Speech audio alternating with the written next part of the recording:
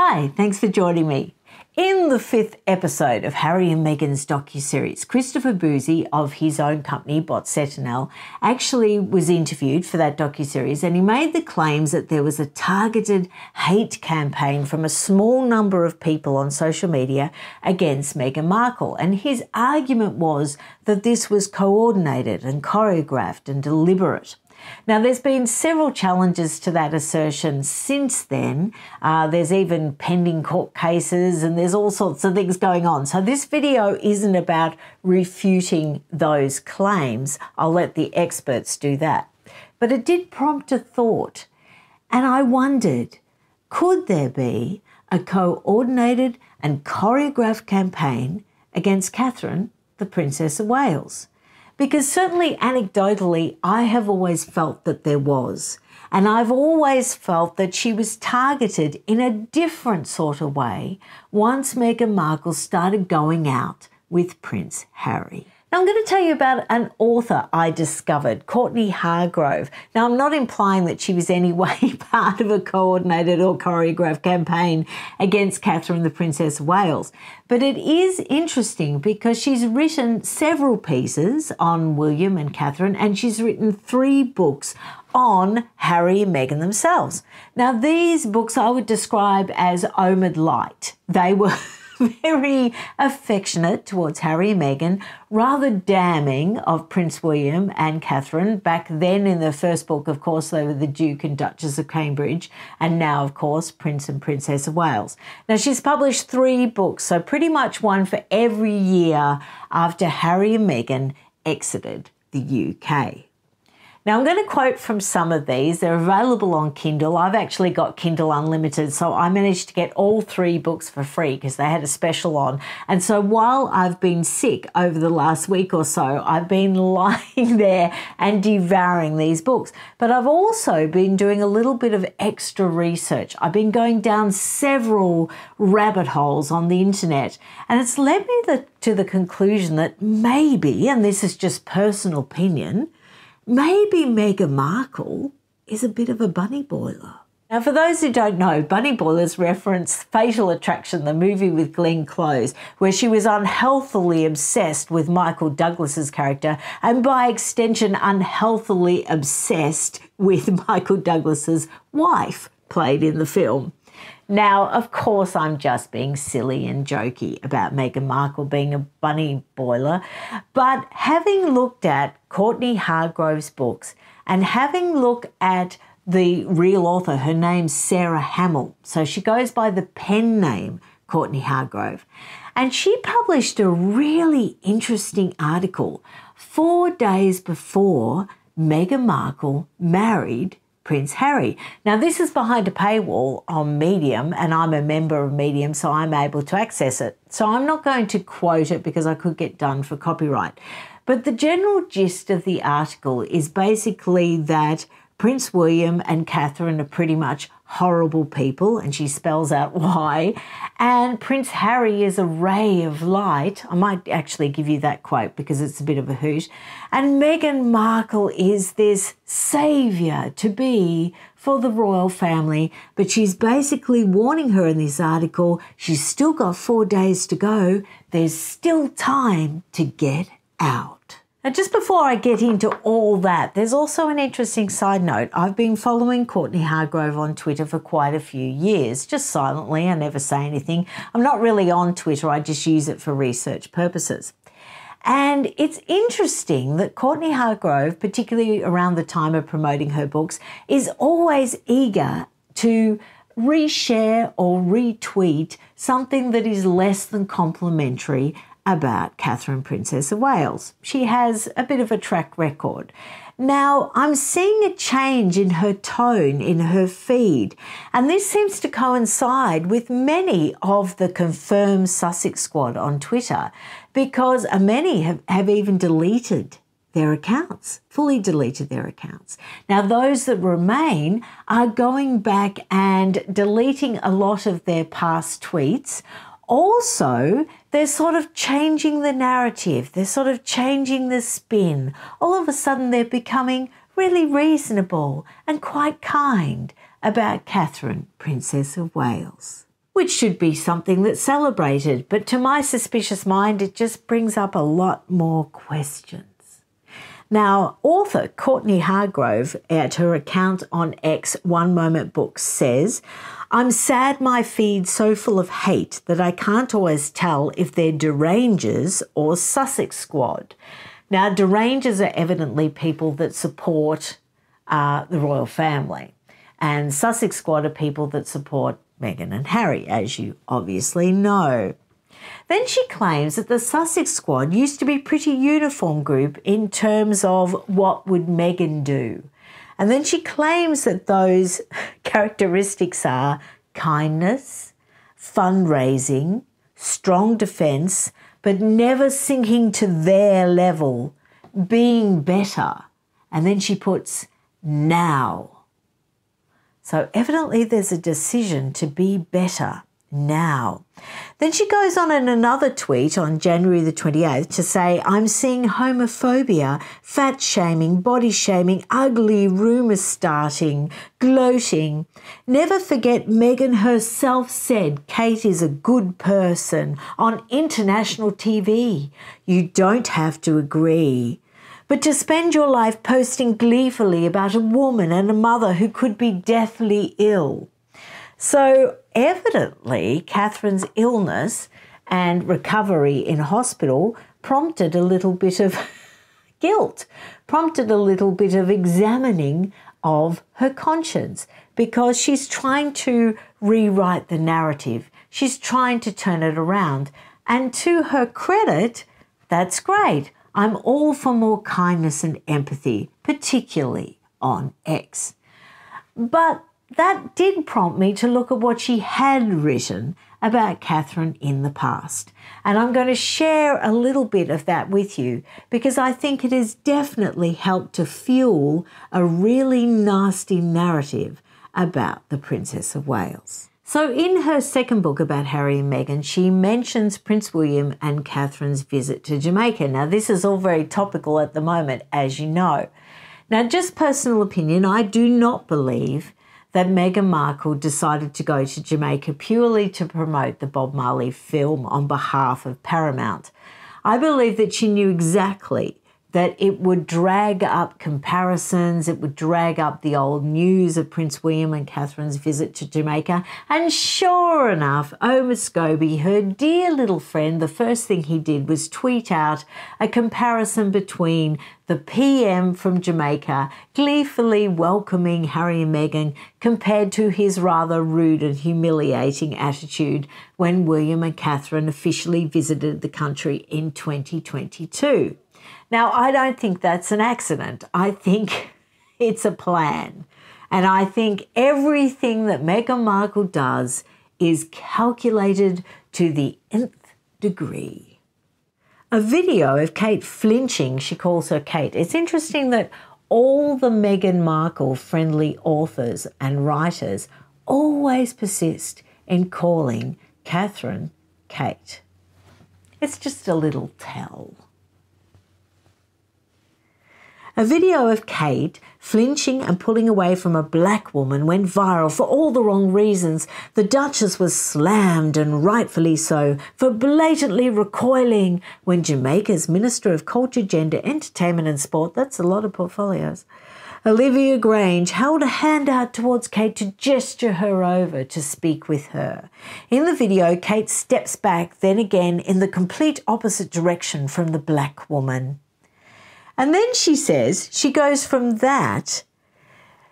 Uh, a million keyboards could be heard clacking in the universe as the echoes of William's ludicrous and demonstrably untrue pronouncement hovered over the event. We are very much not a racist family after the Oprah Winfrey interview. But then she doubles down and she says this Kate has a history with this, and this is the part that I thought was just too blatant, Courtney. Too blatant, or should we call you Sarah? There are images over the years of Kate grinning maniacally. That's what she says. And leaning into white men And there are other image of, uh, images of her pulling away from black people. Really, Sarah? Maniacally grinning and leaning in to white men. So, like I said, this was part of her second book that she wrote about Harry and Meghan. And like I also said, it seems to be a bit Omid light because she seems to have unprecedented access. One could almost say when you read these books that you could almost hear Meghan Markle speaking. It's uncanny, absolutely uncanny. Now, to be fair, the writer is from the USA, so maybe they are very similar in the way they speak. It's also interesting to see uh, the history of this particular writer, Sarah Hammel. She's written several books. Now, she wrote for People magazine and was on staff with People magazine for many, many, many years. And it broke up in quite an unfortunate way. In 2016, right around the time Meghan met Harry, which is just a coincidence, of course, she published a letter resigning for working for People magazine. And she pretty much slammed them and distanced herself from them and from the recent new management. And she was quite offended because they wouldn't let her publish an article promoting her new children's book called Underdog, which is a book for sort of teen, the teen market. And, you know, it was a damning open letter and it created quite a hoo ha at the time. And she actually turned this damning resignation letter into a book or half of a book called Famous Last Words. Now, Sarah Hammel knew all the KP set, evidently, from her work working for People magazine and Newsweek and US Weekly and all those very Meghan friendly publications. She has a lot of nice things to say about Beatrice and Eugenie, and she has nothing nice to say about Catherine. And I'll just give you a little sample. I remember watching Kate in this bar in Switzerland and thinking how I was getting paid for a job. And then she goes on to say that observing Catherine on her all expenses paid skiing holiday, she wondered what it would feel like having a credit card or a bank account that had never been filled with money from working a job. That's what she says about Catherine, and basically sneers at her for that fact. Then she goes on to say that, of course, Meghan Markle is a self made woman, always worked for herself, always proudly owner of her own credit card and her own bank account. She goes on to say that Meghan was doing serious, important charity work that lasted longer than 45 minutes, neither did get Catherine, before charity work got her any substantial publicity points. Well, one could argue that it was a concentrated campaign to catch a prince, but that's another story. She was educated at a top university, thanks to Daddy that she's since dumped, and she scrambled her way from game show girl to a well regarded role on basic ca- cable. She was dabbling in all sorts of businesses when she met Harry. Yes, the Tig, you know, the She-Ra Princess article, another sneering article about Catherine. And I think Kate, now this is the conclusion to all that rah rah about Meghan, I think Kate is acutely aware of this. Really? And evidently acutely threatened by Meghan Markle. Now, isn't this interesting that this was published four days before the wedding? So the anti Catherine or anti Kate sort of narrative was being pushed out there. But if we go back to when Harry and Meghan were first announced as girlfriend and boyfriend, backgrounding articles against Catherine did start to appear in the tabloid newspapers.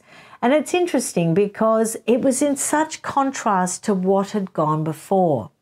Now, there was a flurry of anti Catherine articles around 2011, and interestingly, they always seemed to mention Beatrice and Eugenie. Now, I'm not implying that Beatrice and Eugenie had anything to do with this backgrounding against Catherine back in 2011. I'm sure, like the Meghan Markle era, it's all pure coincidence. It's just interesting that there was a flurry of articles, very much anti Catherine articles, saying how she had either ignored Beatrice and Eugenie, snubbed them off, usually inadvertently in some way, failed to invite them somewhere, um, invited unnecessary comparisons against her beautiful figure and her clothes compared to the then more frumpy Beatrice and Eugenie, which, if you look back back in 2011, they were definitely more frumpy. They've got a lot more glamorous. From about 2014, they've got a lot more glamorous. And interestingly, all these sort of anti Catherine sort of articles making Catherine out to be a really horrible person did sort of dry up around 2014, which is interesting because that's when Meghan Markle kicked in with the She-Ra princess sneer around 2014. And then we lead up to 2016 when all of a sudden gossip backgrounding is happening. In 2017, in February, there was an article by Lainey Gossip, which has all been done to death on YouTube. But it's interesting that Courtney Hargrove, or Sarah Hammel, points out in her article published four days before Meghan actually married Harry that Lainey Gossip was very much aligned or familiar with Jessica Mulroney, Meghan Markle's great friend. She points out that there's obvious connection there. Now let's have a look at that Lainey Gossip article. It was all about Catherine not giving Meghan Markle a ride to the shops, and it's been covered and done to death. And Lainey Gossip has actually come out and said, Well, I don't know Meghan Markle personally. But a lot of people have come out and said, Well, Lainey Gossip mixed in the same circles as Jessica Mulroney. And let's face it, it was announced in October of 2016, Halloween that Meghan and Harry were an item.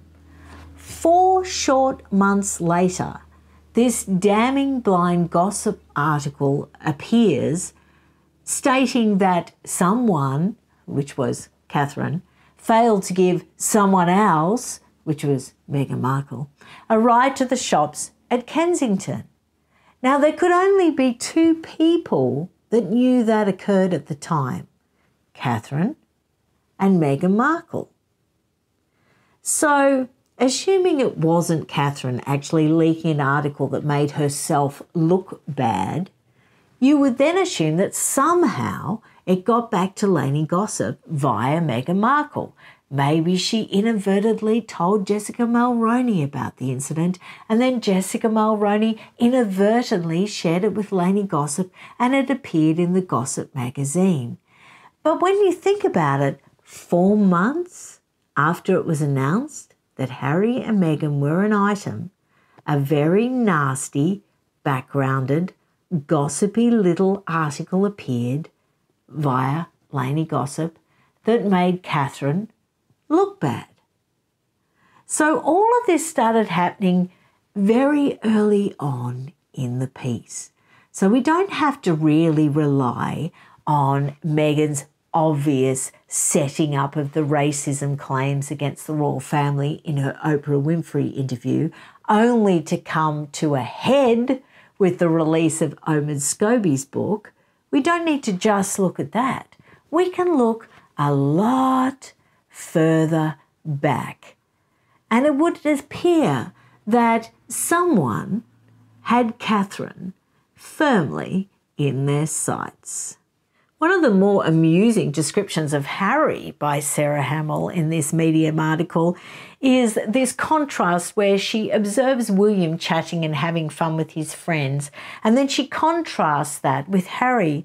And she says, and I quote, Contrast this to Harry, whose charisma and natural charm ricochets in colours through the room like a prism hung in a sunny kitchen window. Little over the top, Sarah. Bit flowery. Bit word salady, one would say. So I've got a few fun things to share with you before finishing up about Courtney Hargrove from volume one of her Harry and Meghan book, which covers the first year of their life in Melodrama And she actually says a lot of things that are quite behind the scenes, including a tweet that Meghan made to Oprah Winfrey. One wonders how she would have got access to that information. Rather than interrupt bedtime by turning on the TV or trawling social media, Meghan texted Oprah with the most casual of inquiries. yeah, sure. Really casual. Putting Archie to bed, this is in quotation marks, no idea what's happening with the East Coast feed. How's it going? Oh, no, it's not in quotation marks. So are we to assume that that's made up dialogue? Evidently, Oprah wrote back right away. Interesting. I don't either. From what I can tell, it's going well. I know it's airing. Aren't they unbelievably casual, both acting like they're not watching it?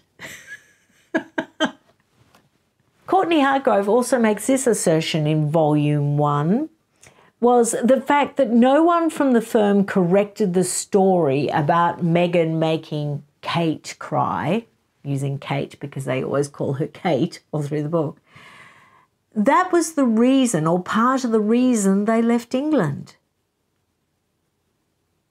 Now, the narrative has changed a lot over the years, as we know, because I'm, I'm sure Meghan's one whose story always evolves, especially depending on how they feel at the time and who they're talking to.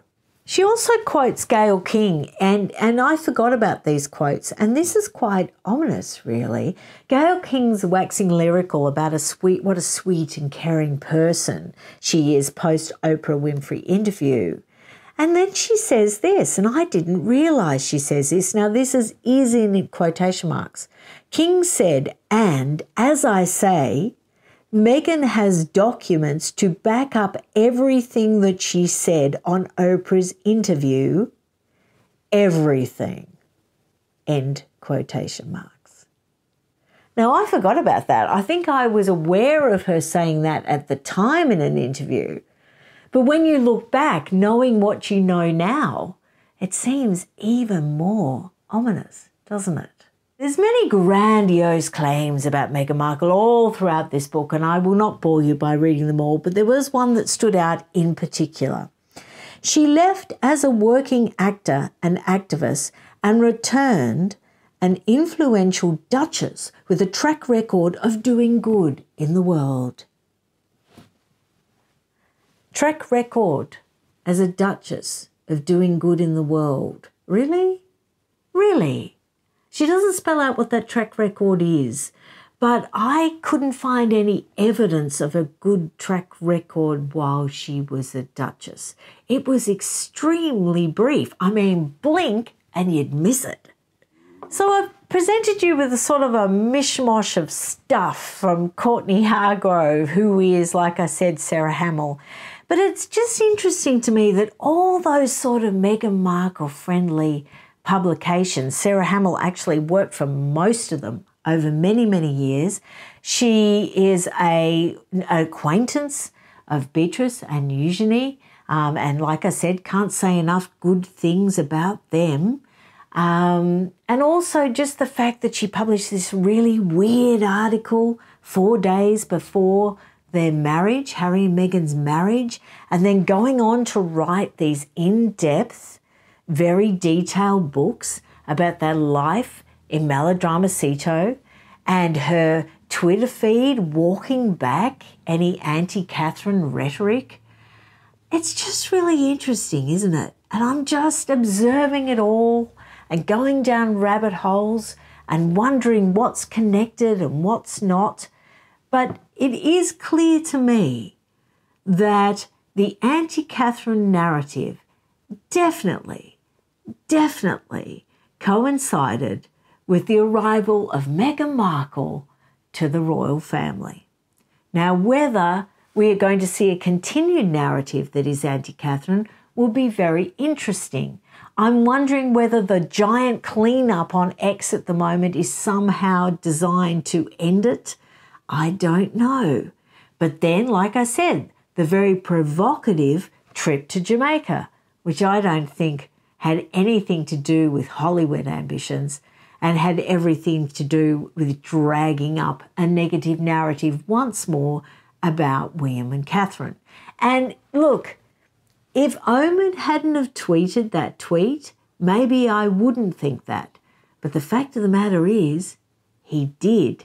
Now, if he did that without any form of authorization from the Harkles, he must be the bane of their life at the moment. They must be desperate to try and control his output now. Anyway, let me know what you think down below, and I'll be back with more very soon. Bye.